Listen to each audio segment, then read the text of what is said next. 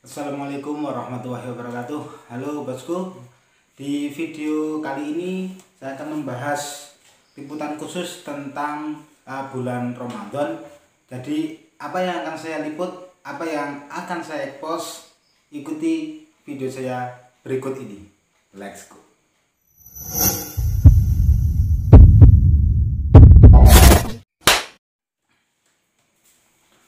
Oke, jadi di video kali ini kita akan mengekspos, membahas tentang salah satu tradisi yang ada di desa-desa ya. Mungkin di kota ada apa enggak saya juga kurang tahu. Tradisi itu kalau di tempat saya dinamakan dengan tedur. Tedur itu mungkin bahasa jadi kata tek dur ya. Tek tek itu dari kentongan suara kentongan, dur itu suara wijidur itu. Jadi tradisi tekdur itu kalau saya kecil dulu itu untuk menandai. Nah, awal masuk bulan Ramadan dan untuk menandai masuknya bulan Syawal itu ada dua. Terus ada empat yang dua lagi e, menandai selesai sholat tarawih dan e, menandai waktu akan masuk sahur. Ya semacam untuk e, bangunin sahur gitulah. Nah itu ada empat. Tapi Eh, seiring berjalannya waktu yang dua pertama tadi yaitu untuk menandai satu Ramadan dan satu Syawal itu sudah eh, apa ya is kayak nggak ada gitu loh. Itu mungkin karena efek dari eh, yang tanggal satu Ramadan dan satu Syawal itu harus menunggu keputusan dari pemerintah berdasarkan Rukyatul Hilal ya karena di Indonesia khususnya itu menggunakan Rukyatul Hilal. Walaupun ada sedikit atau beberapa ormas yang menggunakan uh, metode hisap atau hitungan. Tapi uh, untuk di tempat saya sendiri itu menggunakan yang urusan pemerintah. Jadi tidak berani kalau misalkan tanggal 29 atau 30 Syaban itu melakukan tidur. Jadi enggak ada dan yang masih ada sekarang itu cuma satu. Yang untuk bangunin sahur juga sudah enggak ada. Kalau itu mungkin karena dari anak-anak sendiri kalau dulu banyak ya yang malam itu anak-anak kecil ya sing rada gede tapi masih jomblo lah belum belum punya uh, keluarga itu belum belum punya istri itu tidurnya di masjid sekarang udah jarang. Jadi tinggal satu yaitu yang dipertahankan setelah selesai sholat tarawih. Nah, jadi tekdur ini dilakukan saat selesai sholat tarawih witir ada doa-doa terus uh, jamaah itu keluar dan diiringi dengan uh, tradisi itu itu masih sampai sekarang dan sangat dianjurkan oleh imam masjid di tempat saya tinggal ini. Jadi seperti apa uh, prosesi tidur itu? Mari kita lihat bareng-bareng yang sempat saya rekam di masjid tempat saya melakukan sholat tarawih. Oke? okay?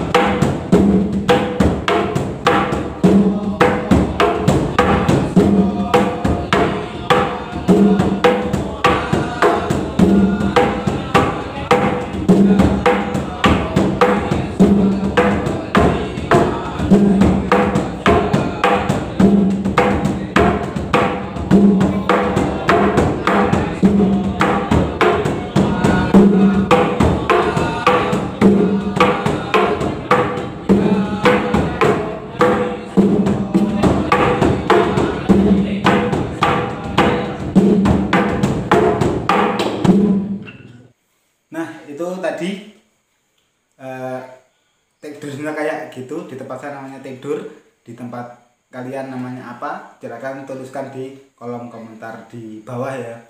Terus jangan lupa untuk dukung channel ini agar bisa mengekspos lagi menampilkan video-video hiburan dan mungkin juga informasi untuk anda semua dengan tekan tombol subscribe yang ada di sebelah kanan anda. Kalau warna merah langsung dimatikan saja biar kita mendukung video-video yang akan saya buat. Terima kasih. Kita bertemu di expose spesial Ramadan lagi. Saya akhiri. Selamat ini malam selamat malam. Assalamualaikum warahmatullahi wabarakatuh